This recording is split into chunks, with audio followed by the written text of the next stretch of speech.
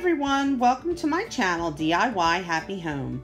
This is Carla and I got this pet treat jar at the Dollar Tree and I plan on making a jack-o'-lantern with it. But before I start this project, I wanted to show you where my inspiration came from. I always wanted one of these gas can jack-o'-lanterns and I decided to make a miniature version of one. I also bought this pack of three plastic funnels at the Dollar Tree and I plan on using the medium sized one in this project.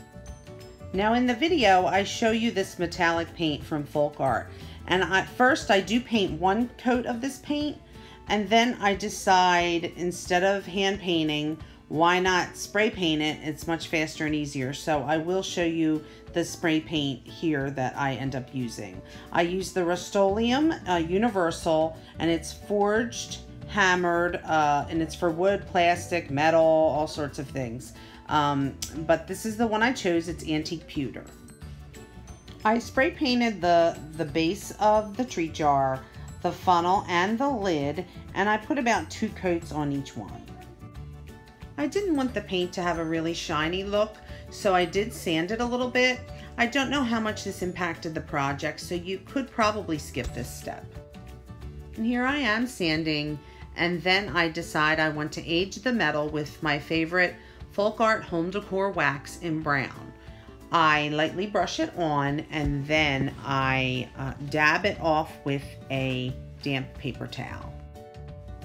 I do notice that the paper towel that I'm using has a little bit of texture on it and I do really like the look that it gives. It kind of gives this like honeycomb appearance which is kind of cool.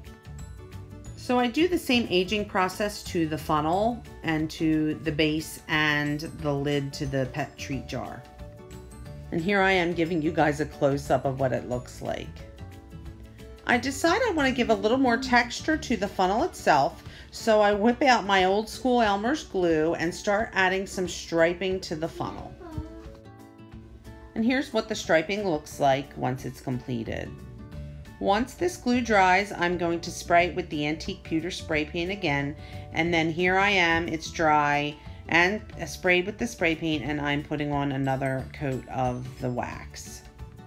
If you are planning to do this project, I recommend you just put the Elmer's glue directly onto the funnel and skip the step of painting it first, then adding the Elmer's glue. I do think it's worth the step to do the Elmer's glue. I do like the texture that it gives. I decided to add more of the brown wax to give it a darker aged look. And now I'll let it dry and I will make a jack-o'-lantern face on my Cricut.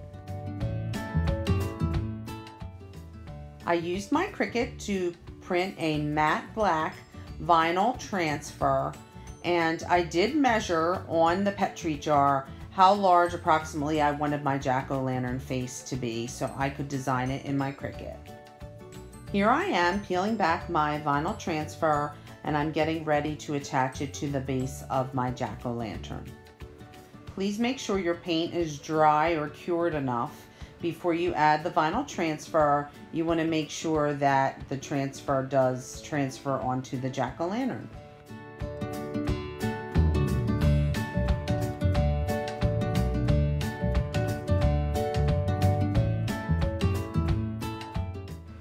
And now I'm ready to peel back the plastic backing and the transfer is now on the jack-o'-lantern.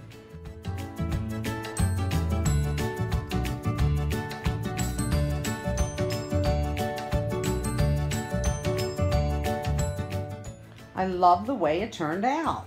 Uh, I did look for a gas can to carve and it was at an antique store and it was $40. So this project was basically a dollar for the pet treat uh, jar and a dollar for the funnels.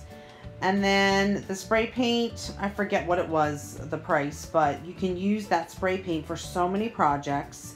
Um, so it's basically very reasonably priced. Uh, most people have Elmer's glue. Um, so I do hope you like this project. It really made me very excited. I'm thinking of doing one in a burnt orange color as well and trying to make that look rustic. Thank you so much for watching my video today. I hope you will subscribe to my channel. It really does mean the world to me when you guys subscribe. And also feel free to comment, like, and share. I really do enjoy reading your comments. And I hope you guys have a great day. Thanks so much for joining me, and I'll see you next time.